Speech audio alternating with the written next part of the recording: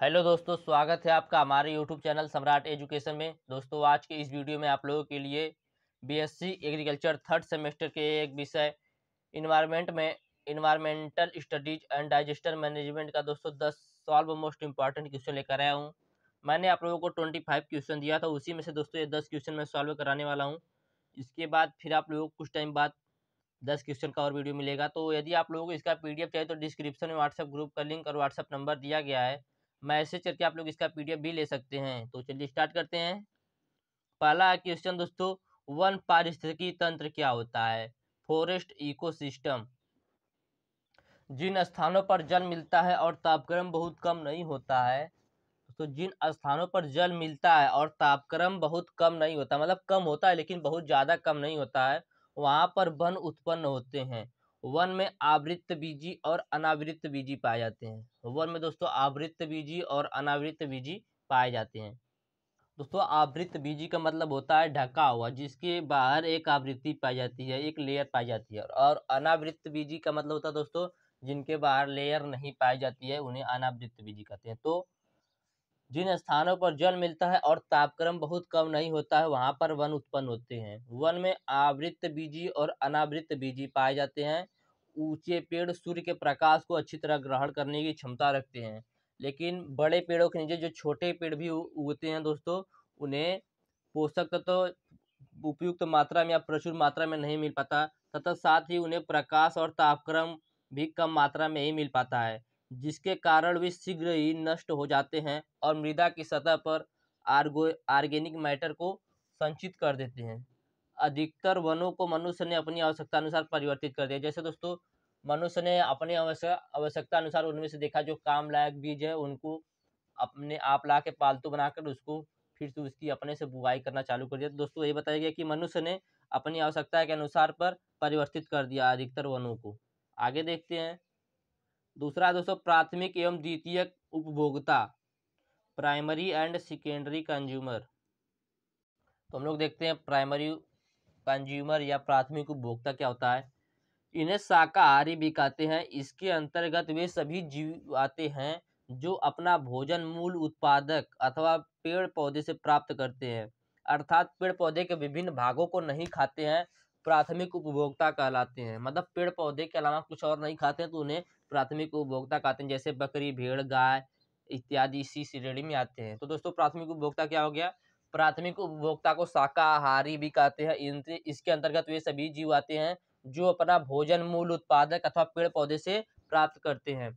और पेड़ पौधे के अलावा किसी अन्य चीज़ों को नहीं खाते हैं अन्य भागों को नहीं खाते हैं, उसी को कहते हैं दोस्तों, प्राथमिक उपभोक्ता जैसे बकरी, भेड़, गाय ये सब दोस्तों इसी श्रेणी में आते हैं। अगला दोस्तों द्वितीय उपभोक्ता।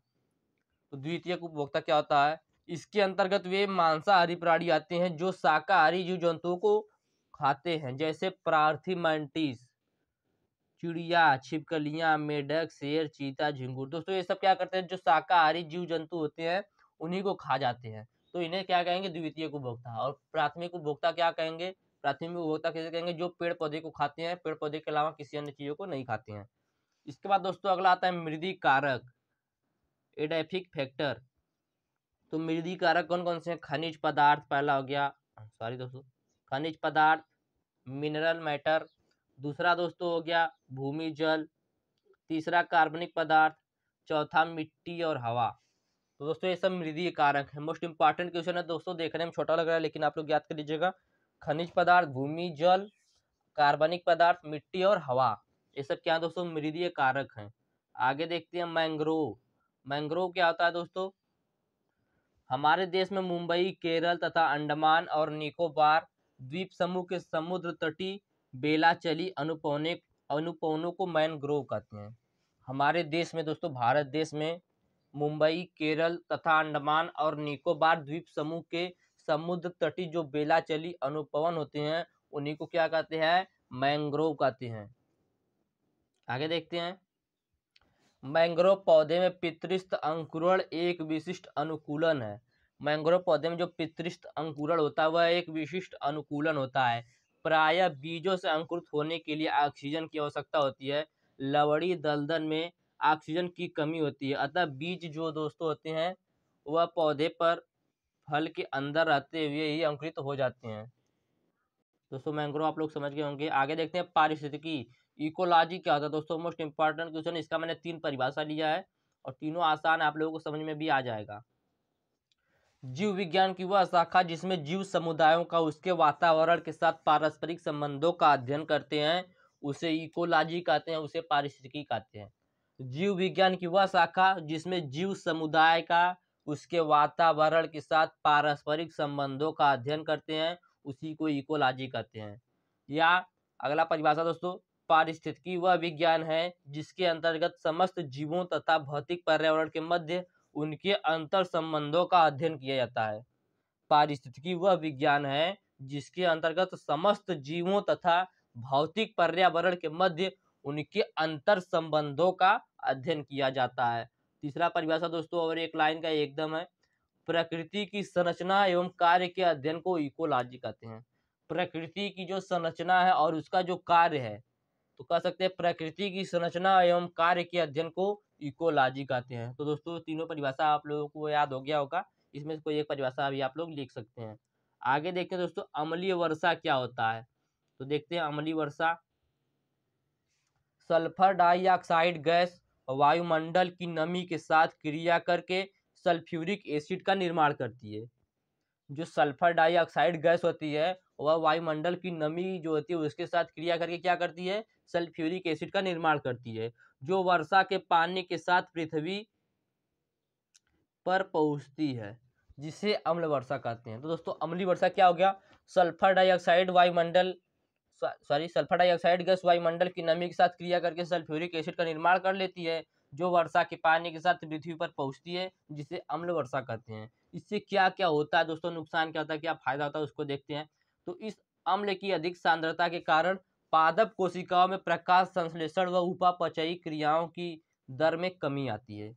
जो अम्ली वर्षा होता है, इस अम्ली वर्षा की सांद्रता अधिक होने के कारण पादप कोशिकाओं में प्रकाश संश्लेषण और उपापचयी क्रिया की दर में कमी आती है और प्लाज्मा झिल्ली टूट जाती है तथा क्लोरोफिल भी नष्ट हो जाता है। प्लाज्मा झिल्ली टूट जाती है, क्लोरोफिल नष्ट हो जाता है तथा जली जीव जिसमें मछलियाँ मर जाती हैं, जल के पीएच के मान में भी कमी आ जाती है, जो कि पौधों तथा जंतुओं, भवनों आदि के लिए हानिकारक होता है। तो दोस्तों अम्ली वर्षा क्या हो गया? सल्फ़र डाइऑक्साइड गैस वायुमंडल की नमी के साथ क्रिया करके सल्फ्यूरिक एसिड का निर्माण करती है, जो वर्षा के पानी के साथ पृथ्वी पर पहुँचती है, जिसे अम्ल वर्षा कहती हैं। इस वर्षा की, इस अम्ल की सांद्रता अधिक होने के कारण पादप कोशिकाओं में प्रकाश संश्लेषण व उपापचयी क्रिया की दर में कमी आती है, प्लाज्मा झिल्ली भी टूट जाती है तथा क्लोरोफिल नष्ट हो जाता है तथा जली जीव जिसमें मछलियाँ मर जाती हैं, जल के पीएच मान में कमी आ जाती है, जो कि पौधे तथा जीव जंतुओं, भवनों आदि के लिए भी हानिकारक होता है। तो दोस्तों, ये हो गया क्या हम लोग अम्ली वर्षा हो गया, इससे क्या क्या नुकसान होता है उसको भी हम लोगों ने देख लिया। उसके बाद हम लोग देखेंगे समोदभीत मिसोफाइट्स। मिसोफाइट्स क्या होता है दोस्तों? समोदभीत पौधे समानता वे पौधे होते हैं जिन्हें प्राय सामान्य सामान्य नमी की आवश्यकता होती है। दोस्तों, जो समोदभीत पौधे होते हैं, वे समानता वह पौधे होते हैं, जिन्हें प्राय सामान्य नमी की आवश्यकता होती है। इनकी ऊपरी भाग वायु में रहती है। इसका समुदाय के पौधे मरुदभूत मरुदभिद तथा समुद्रभिद प्रकृति के होते हैं। तथा कम पानी में अपना जीवन चक्र पूरा करना अथवा कम पानी का घास मरुदभिद पौधे की खास विशेषता होती है। जैसे दोस्तों नागफनी और बबूल हो गया, ये सब दोस्तों मरु समुद्रभिद पौधे होते हैं। सॉरी समुद्रभिद पौधे होते हैं। हाँ दोस्तों तो समुद्रित पौधे क्या हो गए? समुद्रित पौधे वो पौधे होते हैं जो इन्हें समान नमी की आवश्यकता होती है। इनका ऊपरी भाग जो होता है वह वायु में रहता है। इन समुदाय के पौधे मरुदभिद तथा संबोधभिद प्रकृति के होते हैं। तथा कम पानी में अपना जीवन चक्र पूरा करना अथवा कम पानी का घास मरुदभिद पौधे की खास विशेषता होती है। जैसे दोस्तों ये सब नागफनी दोस्तों जो है रेगिस्तान में भी यदि इसको उगाएँगे तो नागफनी रेगिस्तान में भी उग जाएगी। इसे कम पानी की आवश्यकता होती है। दोस्तों इसमें यही बताया गया कि जो संबोधित पौधे होते हैं उन्हें कम नमी की आवश्यकता होती है और कम पानी की आवश्यकता होती है। वह कम पानी में भी अपना जीवन चक्र आसानी से पूरा कर सकते हैं जैसे नागफनी बताया गया बबुल बताया गया। दोस्तों जितने कांटे वाले पौधे होते हैं वो सब दोस्तों समुद्रित पौधे एक, एक तरह से कर सकते हैं। आगे देखते हैं दोस्तों। सातवां क्वेश्चन दोस्तों हमने लिया, सुपोषण। सुपोषण क्या होता है?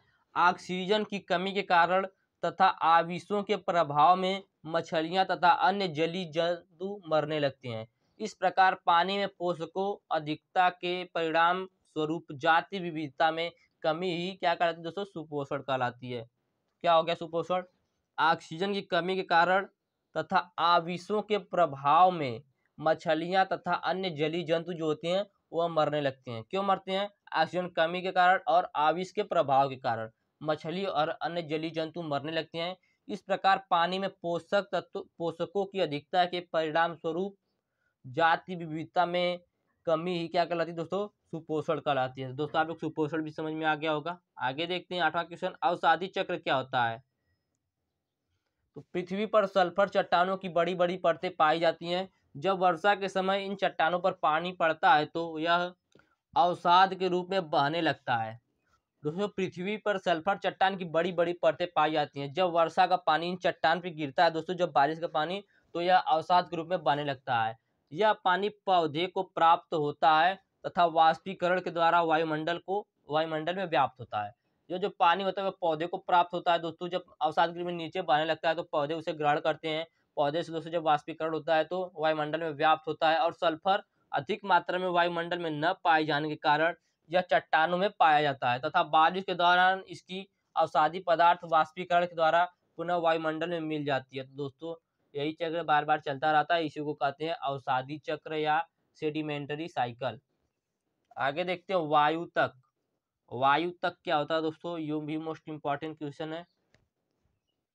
जलीय पौधे इन कोशिकाओं के बीच बीच में बड़े बड़े अंतरा कोशिकीय स्थान बन जाते हैं। जलीय पौधे में इन कोशिकाओं के बीच बीच में बड़े बड़े अंतरा कोशिकीय स्थान बन जाते हैं, जिसमें वायु भरी रहती है। इन्हें वायु गुहिकाएँ कहते हैं तथा इस उतक को अब वायु तक कहते हैं। तो वायु तक क्या होगा दोस्तों? जली पौधे जो होते हैं, इनकी कोशिकाओं के बीच बीच में बड़े बड़े अंतरा कोशिकीय स्थान बन जाते हैं। जो जली पौधे होते हैं, इन कोशिकाओं के बीच में बड़े बड़े अंतरा कोशिकीय स्थान बन जाते हैं, जिससे वायु भरी रहती है। इन्हें वायु गुहिकाएँ कहते हैं तथा इस उतक को वायु तक कहते हैं। आगे देखते हैं दोस्तों, अगला क्वेश्चन उपभोक्ता बनाम निर्माता कंज्यूमर वर्सेस प्रोड्यूसर दोस्तों मोस्ट इंपॉर्टेंट क्वेश्चन है ये भी। तो कंज्यूमर वर्सेस प्रोड्यूसर क्या होता है? तो सबसे पहले देखेंगे कंज्यूमर क्या होता है। अभी हम लोगों ने प्राइमरी कंज्यूमर सेकेंडरी कंज्यूमर देखा था। अब देखेंगे सबसे पहले कंज्यूमर क्या होता है, उसके बाद देखेंगे प्रोड्यूसर क्या होता है। तो इसके अंतर्गत वे सभी जीव, जीवित जीव आते हैं जो अपने भोजन प्राप्ति के लिए प्रत्यक्ष अथवा परोक्ष रूप से वनस्पतियों पर निर्भर होते हैं। दोस्तों, जो कंज्यूमर होता है, उसके अंतर्गत वे सभी जीवित जीव आते हैं जो अपने भोजन प्राप्ति के लिए प्रत्यक्ष अथवा परोक्ष रूप से वनस्पतियों पर निर्भर होते हैं। इस प्रकार समस्त जंतुओं को निम्नलिखित भागों में बांटा जा सकता है? पहला दोस्तों, प्राथमिक उपभोक्ता, दूसरा द्वितीय उपभोक्ता, तीसरा दोस्तों, तृतीय उपभोक्ता। अब दोस्तों हम लोग देखेंगे प्रोड्यूसर क्या होता है? निर्माता। निर्माता। इसमें हरे पेड़ पौधे तथा वे सभी वनस्पतियाँ आती हैं जो सूर्य के प्रकाश की उपस्थिति में प्रकाश संश्लेषण प्रक्रम द्वारा भोजन बनाती हैं और उत्पादक अर्थात निर्माता कहलाती हैं। इसके अंतर्गत इसमें हरे पेड़ पौधे तथा वे सभी वनस्पतियाँ आती हैं, जो सूर्य के प्रकाश की उपस्थिति में प्रकाश संश्लेषण के प्रक्रम द्वारा अपना भोजन बनाती है, उसी को दोस्तों प्रोड्यूसर या निर्माता या उत्पादक कहते हैं। तो दोस्तों, उम्मीद करते हैं आप लोगों को दसवें क्वेश्चन आसानी से समझ में आ गया होगा। यदि वीडियो अच्छा लगा तो वीडियो को लाइक कर दीजिएगा, चैनल को सब्सक्राइब कर दीजिएगा और यदि आप लोगों को इसका पीडीएफ चाहिए तो डिस्क्रिप्शन में व्हाट्सएप ग्रुप का लिंक और व्हाट्सएप नंबर दिया गया है। मैसेज करके आप लोग इसका पीडीएफ भी ले सकते हैं। धन्यवाद। जय हिंद।